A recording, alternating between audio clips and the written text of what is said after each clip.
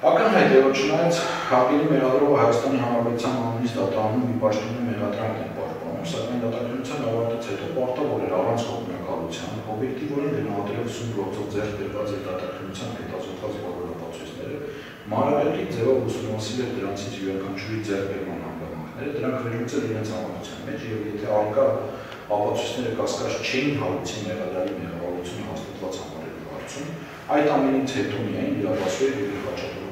վերաբերյալ համոզկալ մեղադրական ճարով եւ դատապարտելու միջնորդություն անել դատարանում։ Հակառակ դեպքում վերջինս պարտավորել ղեկավարվել քրեական դատավարության նույնիսկի 277 հոդվածի 6-րդ կետով։ Սակայն այս դեպքում մեղադրամը գործեց ոչ թե օբյեկտիվորեն, ոչ թե պետության շահերից եւ օրենքի հիման վրա, այլ շարունակեց բարոյական աշխարհի կողմից ի սկզբանե որդեգրված միակողմանի ոչ օբյեկտիվ հոգեգիծը Իգոր Խաչատուրովին առաջադրված մեղադրանքն ամեն ինչով պաշտպանելու եւ մեղադրական վերդիկտի հասնելու անհասկանալի ձգտումը։ Աստվածի ամենավառ ապացույցն այն է, որ չնայած ցույց քրական գործով շուրջ 2 ամիս նախաքննություն իրականացվել, ապա նաեւ շուրջ 9 ամիս դատաքննություն, սակայն անգամ այդքանից հետո մեղադրող մի ճար իր ճարում չվկայակոչեց, չկարողացավ վկայակոչել ապացույցների այնպիսի համակցություն եւ չներկայացրեց այնպիսի հիմնավորումներ, որոնք անաչափ դիտորդին համոզմունքը ձևավորել, որ այդ երկարատև քննության ընթացքում ձեռք են ձեռք բերված ապացույցներով իրոք հիմնավորվել է իր խաչատուրովը, որի իր խաչատուրովը կատարել է իրեն ներսագրված արարքը։ Այլ խոսքով մեղադրողը մի եզրափակիչ ելույթով չկարողացավ հիմնավորել, որ իր խաչատուրովը իրոք կատարել է ներսագրված անցավոր արարքը։ Դեռ ավելին, մեղադրողի ելույթի ընդդիմից հետո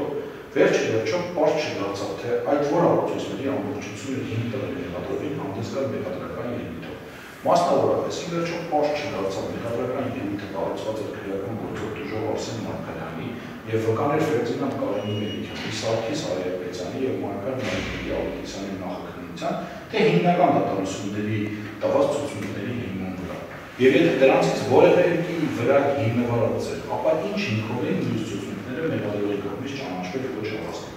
Ընդ որում մեղադրական ելույթում հիշարժությունը պետք է կատարվել նրանցից յուրաքանչյուրի հայտնած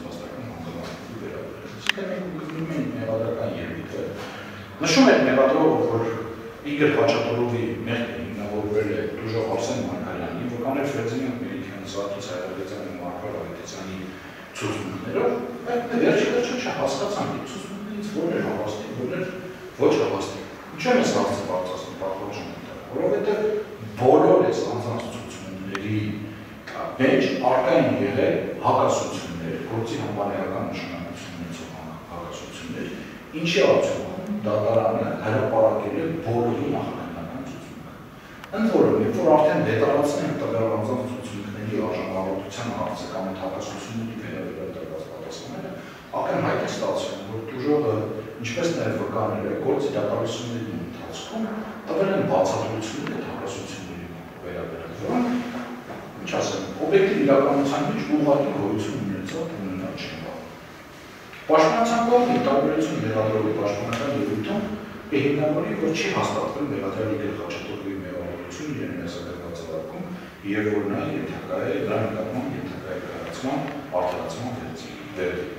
Նախ ցանկանում եմ նշել, որ սույն գործով մեղադրանքի կողմի ելույթը կազմել է գործով որպես վճռորոշ ապացույցներ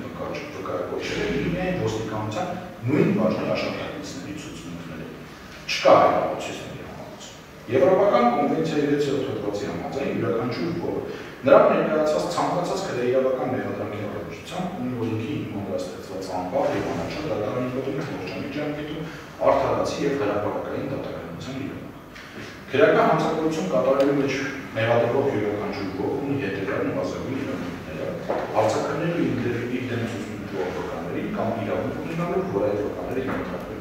հարցակրության եւ իրավունք ունենալու իր ողջականների կանչելու հարցակրելու միևնույն պայմաններով ինչի դեմ տված ցուցմունք տված վկաները։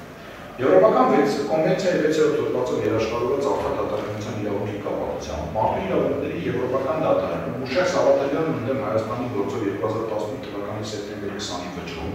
արտահայտել է հետևյալ իրավական դիրքորոշումները։ Մի շարք իրավական դիրքորոշումները արտահայտել է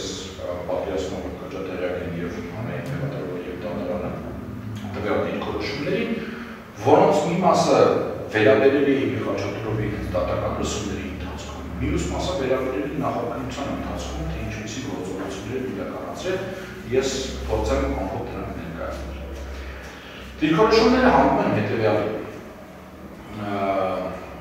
Որոշելու համար թե արդյոք բարոյ ընդհանուր առմամբ եղել է արդար է եղել թե ոչ, պետք է հաշվի առնել, թե արդյոք պահպանվել են պաշտպանության կողմի իրավունքները եւ արդյոք դիմումատարին հնարավորություն տրվել վիճակելու ապացույցների իսկությունը եւ առաքելու դրանց օգտագործման դեմ։ Իլերումն ապացույցների որակը պետք է քննարկման առարկա հանդիսանան, ներառել արդյոք այդ ապացույցների ձեռքբերման հանգամանքները կասկած արդյոք չեն առաջացնում դրանց վստահելիության եւ ճշգրտության վերադեմ։